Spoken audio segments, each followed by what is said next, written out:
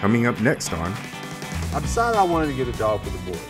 Now I have two small boys. Is he good with kids? He's, he's wonderful. Okay, great. Dennis, the minute I think that we're on the same page, you show up with the Magic Mike doll. I mean, they're just big beasts of a doll. Ah, Ty, well, you know, I've been dealing with the boys. They have to, they're about to go to a new school and. Right, Dennis, you'll be not fine. pull off.